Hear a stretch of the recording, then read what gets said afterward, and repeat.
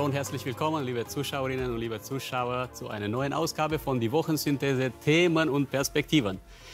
Heute wollen wir uns einem der bedeutendsten, wenn nicht sogar dem bedeutendsten Ereignis des 16. Jahrhunderts überhaupt widmen. Und das nicht nur für die christliche Welt und die Kirche, äh, sondern für die gesamte westliche Zivilisation und darüber hinaus. Der Reformation. Heute in der Rubrik Aus Versehen übersehen.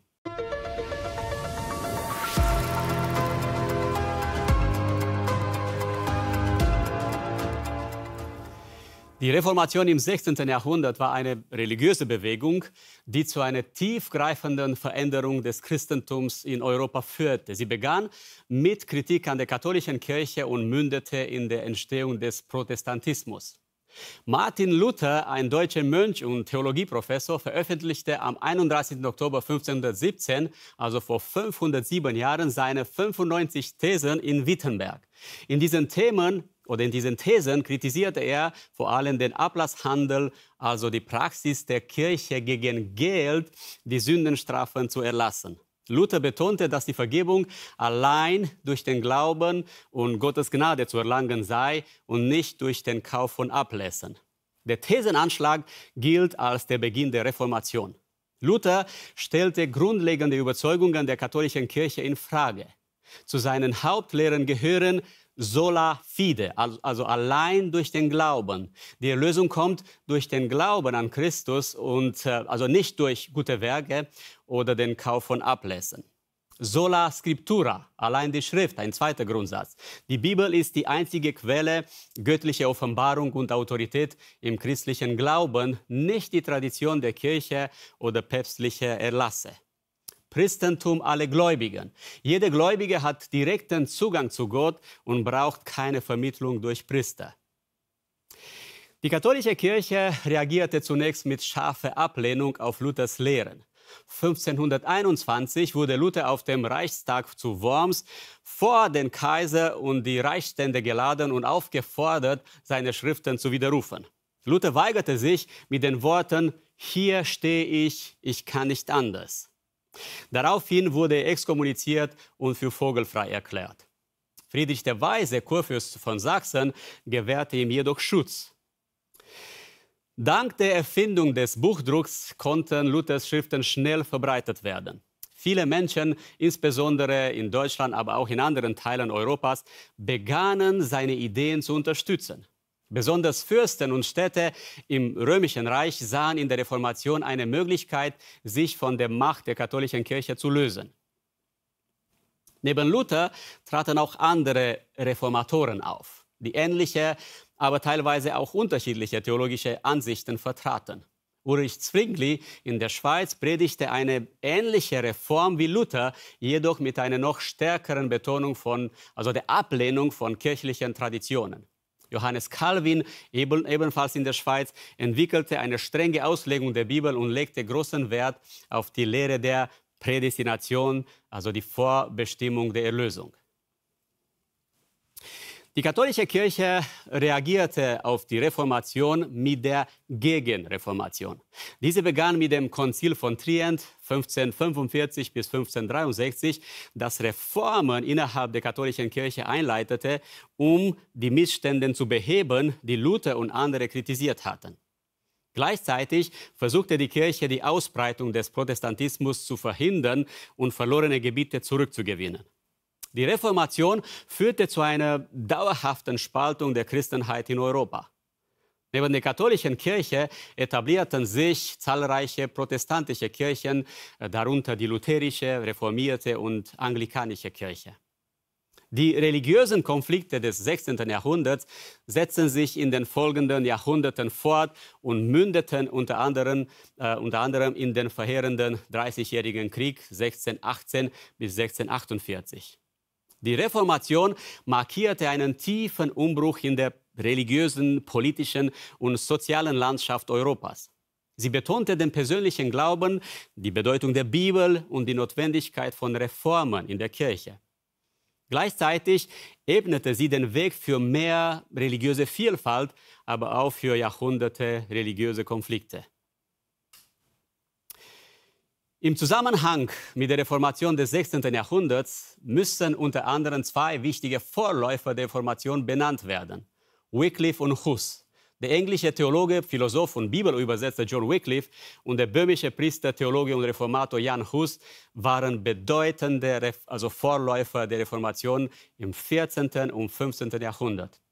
Beide setzen sich für Reformen innerhalb der Kirche ein lange bevor die Reformation durch Martin Luther im 16. Jahrhundert ihren Höhepunkt erreichte. Ihre Ideen beeinflussten die späteren Reformatoren erheblich und trugen zur Entstehung der, der protestantischen Bewegung bei. John Wycliffe in England und Jan Hus in Tschechien gelten als wichtige Vorläufer der Reformation, dass sie zentrale Themen und Forderungen aufgriffen, die später von den Reformatoren des 16. Jahrhunderts, insbesondere Luther, weiterentwickelt wurden.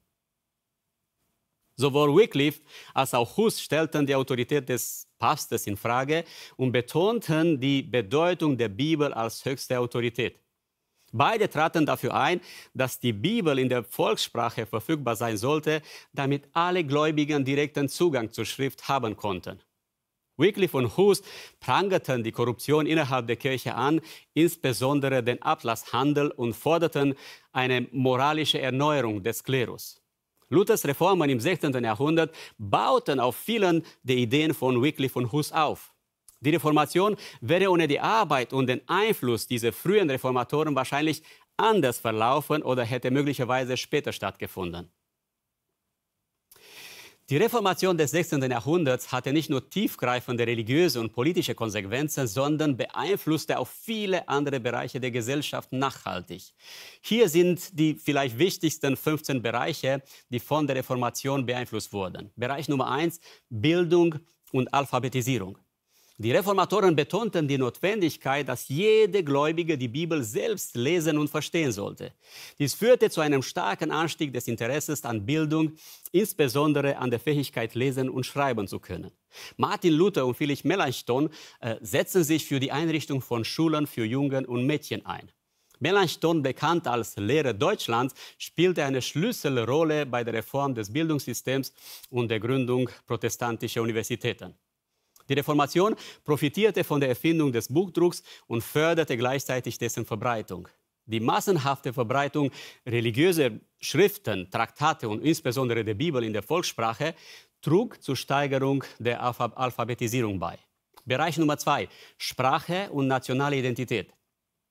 Martin Luthers Übersetzung der Bibel ins Deutsche war ein Meilenstein. Sie standardisierte die deutsche Sprache und machte sie für viele Menschen zugänglich. Ähnliche Übersetzungen in anderen Ländern förderten die Entwicklung und Festigung nationaler Sprache und Identitäten, zum Beispiel in England durch William Tyndale, in Frankreich und Skandinavien. Bereich Nummer drei, Kultur und Kunst. Die Reformation führte eine Verschiebung der Themen in der Kunst. Protestantische äh, Regionen reduzierten die Verwendung religiöser Bilder in Kirchen, was zu einer Zunahme von weltlichen äh, Themen äh, in der Kunst führte. Luther schätzte die Musik hoch und förderte den Gemeindegesang. Dies führte zur Entwicklung des Chorals und beeinflusste die Kirchenmusik nachhaltig. Die Betonung der individuellen Bibellektüre förderte die Produktion von religiösen Texten, aber auch von literarischen Werken, die sich mit moralischen und ethischen Fragen auseinandersetzten. Bereich Nummer vier: Soziale Strukturen und Familienleben. Die Reformation führte zu einer neuen Sicht auf die Ehe als heilige Institution, die auch für den Klerus offen ist. Luther selbst heiratete die ehemalige Nonne Katharina von Bora, was ein Zeichen für diese Veränderung war. Obwohl die Reformation keine umfassende Verbesserung der Stellung der Frau brachte, förderte sie die Bildung von Mädchen und ihnen, um ihnen das Lesen der Bibel zu ermöglichen. Frauen spielten oft eine aktive Rolle in den protestantischen Gemeinden. Protestanten förderten auch die Einrichtung von Armenhäusern, Waisenhäusern und anderen sozialen Einrichtungen, um Bedürftigen zu helfen. Bereich Nummer 5, Wirtschaft und Arbeitsmoral. Der deutsche Soziologe Max Weber argumentierte in seinen berühmten Thesen, dass die protestantische Ethik, insbesondere die kalvinistische Lehre von der Prädestination und der Wertschätzung harter Arbeit und Sparsamkeit, den Aufstieg des Kapitalismus und des Wohlstands förderte. Die Reformatoren betonten die Idee der Berufung, dass jede legitime Arbeit gottgefällig ist. Dies verlieh der täglichen Arbeit eine neue Würde und Bedeutung. Wissenschaft und Rationalität, ein sechster Bereich. Die Betonung der persönlichen Bibellektüre und der individuellen Beziehung zu Gott förderte das kritische Denken und die Hinterfragung von Autoritäten, was den Weg für wissenschaftliche Fortschritte ebnete. Die Gründung protestantischer Universitäten und Schulen förderte die wissenschaftliche Ausbildung und Forschung. Bereich Nummer sieben, Recht und Gesetzgebung.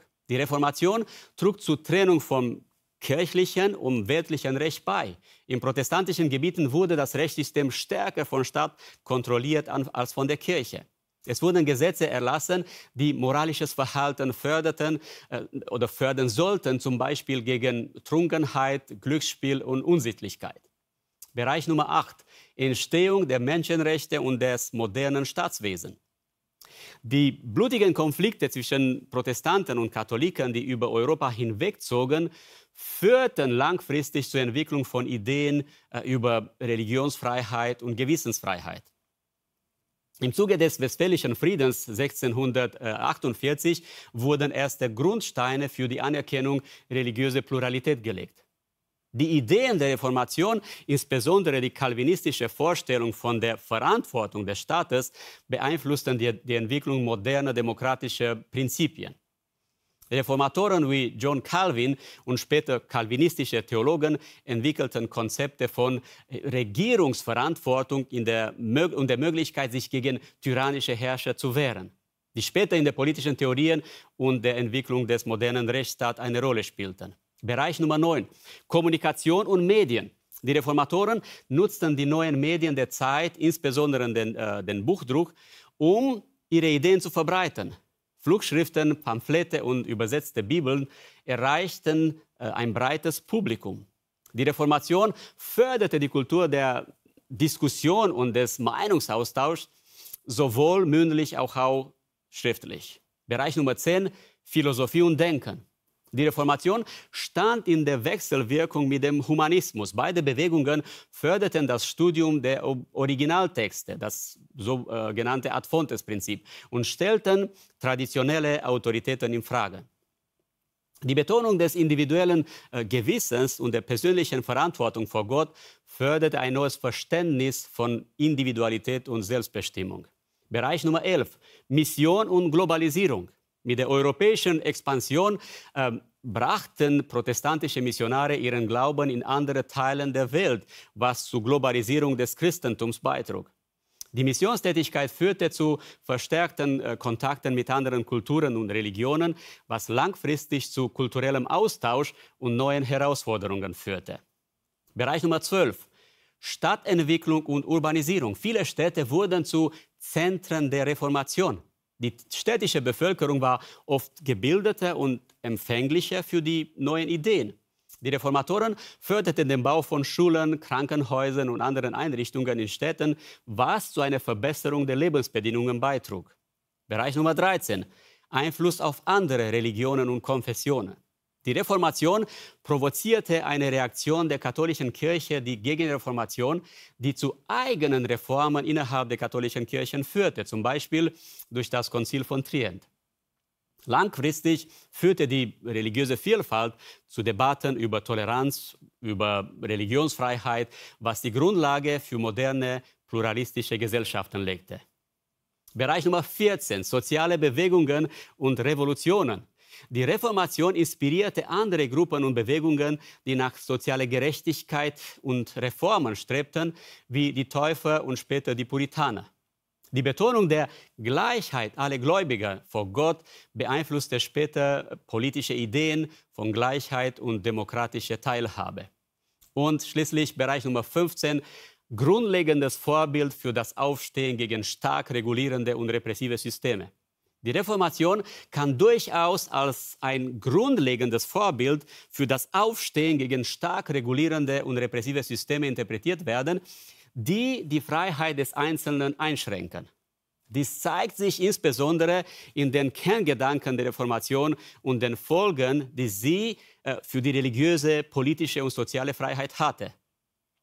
Die Reformation war ein Aufstand gegen dieses Machtmonopol und förderte die Idee, dass geistliche und weltliche Macht nicht in denselben Händen liegen sollten.